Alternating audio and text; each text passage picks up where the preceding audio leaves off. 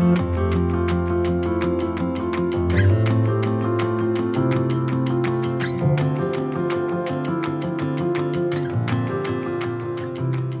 Budowa tego obiektu mm, jest niezwykle skomplikowana i wymagająca, w szczególności termin 32 miesiące. Przed nami bardzo trudne zadanie, przełożenie wielu różnych instalacji podziemnych i także posadowienie obiektu, które jest bardzo trudne. Stan surowy zamknięty tego obiektu mm, będzie około za 14 miesięcy.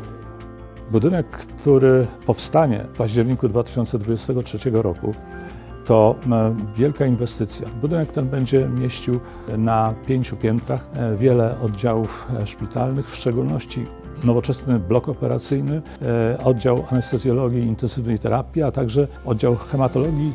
To, że te nowoczesne obiekty powstaną, to oczywiście gwarancja dla mieszkańców Bydgoszczy i regionu, że będą mogli korzystać z bardzo dobrej, specjalistycznej i nowoczesnej bazy medycznej.